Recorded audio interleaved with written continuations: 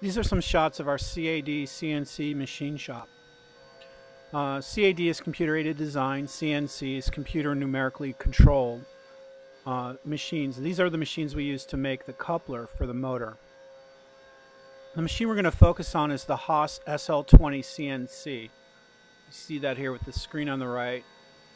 Uh, the screen helps the operator configure the activity of the machine and then monitor it as it runs through its operation run.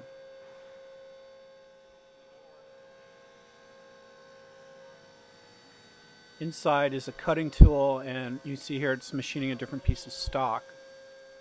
Uh, we'll shortly show you a piece of blank for the coupler as it's prepared to run through its cutting operation.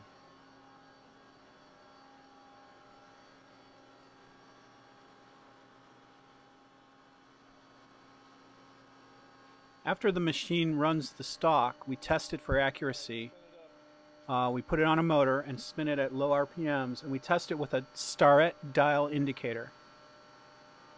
The Starrett dial indicator is on top of the coupler, and we test for runout. This shows the accuracy of the coupler, the machining of the coupler. On the top, we can read the dial of the Starrett dial indicator. You'll see that it's graduated, and each one of those graduations is, graduations is one thousandth of an inch. And we see that this test being run shows that the coupler is very accurate. It's actually machined to within five ten thousandths of an inch. The needle is just staying right at zero for very accurate design.